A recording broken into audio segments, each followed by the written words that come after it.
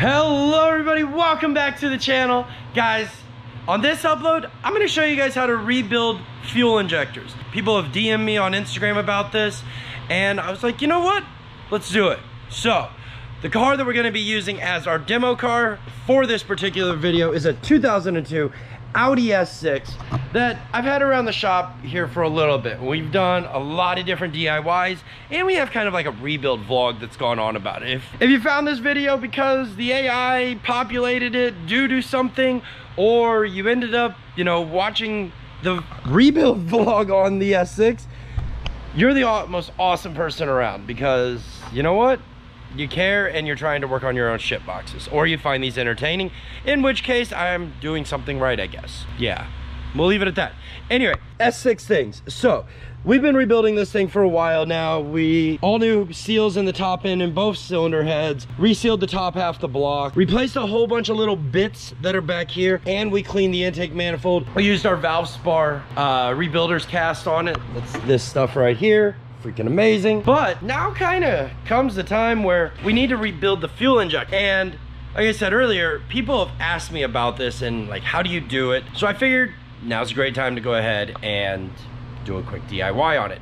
Everything you're gonna need for this DIY is linked down below in the description, including an Amazon affiliate listing that I have down below for the kit we're gonna use in today's video, along with this little cool tool, which does come with this ironically. So I'll wait till the end of the video to ask you, but if you find value in this video so far, go ahead and smash that like button. And if you're new to the channel and you wanna see more content like this, or you're liking this type of content, consider subscribing. All we do every day is DIYs and race car shit. For those of you who may not be like super car literate and whatnot, or gearhead oriented, you know, your gears spin the wrong way, this is the fuel injector. The fuel injectors are located under the fuel rail, something like that. In this case, there's four on this side, four on this side. If you want another example,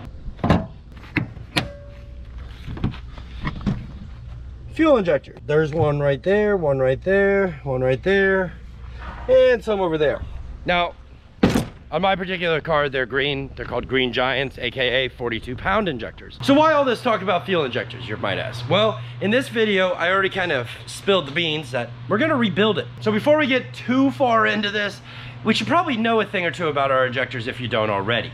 Um, so let's get simplified real quick, okay? This is, we'll just say, every style injector in the world, right? So on the top here, you have a O-ring. On the bottom, you have an O-ring and what's called a pintle cap. Now, down inside of this top, inside of there, you have a filter. Now, the micron level on this is so small that I don't even know how small it is. It's probably in the hundreds of millions. Now, this filter is the last filter in the system. You might not think that your fuel injectors have these, but every port injected style fuel injector has this little baby screen. Now, here's the deal about this screen. It's easily clogged. So if you have really, really dirty fuel that you've pushed all the way through your fuel lines, these can easily get clogged up. Or 100,000 miles, 200,000 miles of consistent use and never being replaced can also really, really clog up these fine metal screens. Here, now a micron is like itty, itty, itty bitty. Like finer than a needle head, right? I mean, for the most part, that's the only component of a fuel injector that you guys are gonna ever have to worry about. Uh, there are some specialty bits inside of it, like there are some little needle valves that are deep down inside there. If you guys can see those, there's five holes on the bottom of that. And inside of there is this little bitty tiny needle valve that pneumatically is pushed up and down by electricity and fuel pressure, right? Every time that it, needle goes up and down, a little tiny bit of fuel gets sprayed out of that little pattern there. And that's what creates the mist or the uh, injection of inside of our intake runners of our cylinder heads or if it's really high up in the freaking intake, maybe in your intake manifold run or some. But, so my point here is, so I guess my point kind of leads me into like the next part, next question. When should you rebuild them? Rebuilding them has two terms, in my opinion. Rebuilding them can include to one degree can be what we're gonna show, what I'm gonna show you how to do today. Rebuilding can also involve sonic cleaned and balanced. Now there's several companies out there that can do this. I offer it as a service, which you can jump over on rowdyaudi.com and if you want, pick it up, mail me your fuel injectors, and I will come happily sonic clean them, flow test them, so they're ready, so that they'll be ready to go 100% when you get them back. That's kind of like my, me over here like shamelessly plugging myself. But the reality is here, guys, is this this stuff is not hard, but I'm willing to do it to help you guys to keep your shit boxes on the road. So, so I guess technically there's like three rebuilds, really because most fuel injector rebuild kits that you get at say Advanced or O'Reilly's or AutoZone does not oh whoops whoops whoops I'm over here like igniting my fire extinguisher. I shouldn't do that. Did I just use it all? Oh no we're good. Okay. So most fuel injectors at AutoZone don't come or AutoZone O'Reilly's Advanced they don't come with these filters and that's because the filters are kind of an advanced step and I don't think manufacturers want you to know they're in there frankly what most fuel injection kits come with are just these O-rings right here. They don't even come with pintle caps. Now, some might, but 90% of them don't. And that's a problem because sometimes your pintle caps, they'll break, they'll crack, they'll just disintegrate which means you're gonna need to be able to replace them. Now, that said, also, once again, I'm gonna shamelessly plug myself here. If you are needing pintle caps, let's say, because you've already bought an injector O-ring kit, I do sell pintle caps for the um, Bosch style injector for all the old body Audis. Now, so that leads me to another quick point here. Um, this method of rebuilding will work on pretty much any Audi fuel injector that you have. Doesn't matter if you have a 1.8T, a 2.8, a 4.2 belt drive or chain drive, a 2.7. I mean, quite literally, as long as it's not direct injected, this video is gonna help you get it done. So, what was the third question? We got, when should I, how often, and oh, how do we do it? So, so since we got all the nonsense out of the way, the basic questions, I guess we should, we should probably now get into like the why we're here. So, you have your fuel injector. It's pretty basic, right? Um, we need to start with taking these O-rings off and we need to get this pintle cap off. So these pintle caps have a little groove which are right through there. Now I'm gonna say ahead of time, if your kit has says just comes with O-rings that you got from the local auto parts store or something, do not try to take the pintle cap off. You're gonna break it when you take it off and you're not gonna get it back on. It's just, it's like a one-way fit type thing. If you happen to have all the pintle caps on your injectors, I wouldn't worry about replacing them. Whoops, lost that one. Are designed for at least, you know, solid 100,000 miles. If you buy the kit, replace them. For all my customers that I do fuel injection rebuilds for, I always just replace them because most of these things are an old shit box. So, you know, can start with just peeling that one off really, really easy. The bottom one here, eh, sometimes a little tricky. Let's get a tool for that be able to just take a little flathead screwdriver here. Try not to stab yourself. And there you go, you can just twist it off. Now you'll see these ones. I don't know if you guys can see this or not, but when this was stretched out, it had a lot of dry rots and cracks in it. So I know these injector O-rings are toast and yeah, let's just get the rest of these off here. And a lot of times what happens is as the injector, as the O-rings get older and older, like they want to have a tendency to stick inside the manifold. And um, that's no good. That is no good because you, what I have found happens when that happens is that the pintle cap actually falls off and at some point it went through the engine. All right, so we only got one pintle cap to show you. This engine at some point, like I said, has eight all of them.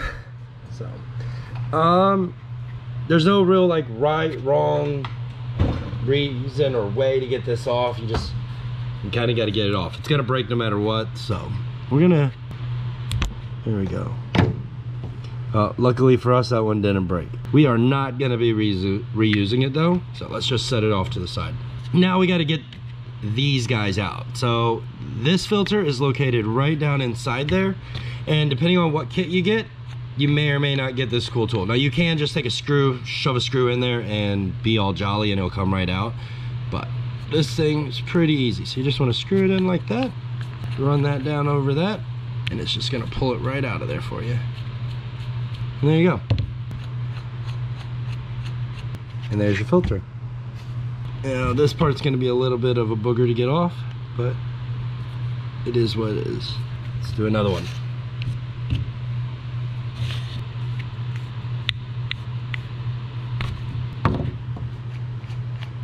Well, that one came out really nice. So some of you guys might wonder why I make videos like this. At the end of the day, I hope car guys are gonna be here forever and ever and ever. And every one of these videos is my way of like contributing to that. Being able to work on stuff and being able to have that freedom of what a car offers you is unreplaceable. You need to be able to, we as like people, humans, homo sapiens, energy floating around in this cosmic universe, we need the ability to be alone. And sometimes our cars are our only way of being alone, I guess. All of them are done. So there's all of our screens, all of our injector O-rings, and oh, I missed the pintle cap. How did I do that? Ah, look at that. That one didn't break either. Winner, winner, chicken dinner.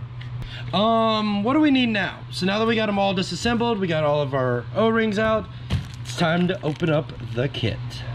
So you gotta get these little injector, um, these filters guys back, ooh, these filter guys back in. They're pretty easy to do though. Here, you just slide that sucker down in there like that, find a flat surface, and push. Well, we need some more push. Hold on. All right. All right. Now that you got your all your filters back in, go ahead and just start stabbing these O-rings on. Now the bottom ones might not stay all that well, but that's no big deal. Now we got all of our O-rings on, the last thing we gotta do is put on our pintle caps. These particular pintle caps, top, you want the notch side, like big flat side and a little bitty side. Now I understand these do not look just like the OEM ones, it is okay. I've used this kit several times and a lot of the aftermarket pintle caps are even designed the same way. So you just take your new one and shove it on there. And there you go. Continue doing that to the rest of them. Give them a little bitty tug, make sure they're not coming off. You should hear them click. And there you go. Eight brand new, fully rebuilt fuel injectors. Now, granted, I say fully rebuilt in the sense of it's got new O-rings, new seals, new pintle caps, and new filter in it. This is not rebuilt in the sense of hey, I've had these things sonic cleaned, I've sent them out, got them back, know what my numbers are, know that they're balanced, know that they're all firing at the exact same rate, which against all mis against a lot of common misbeliefs or misconceptions, you can modify these fuel injectors to optimal levels. So don't let anyone tell you anything other than that.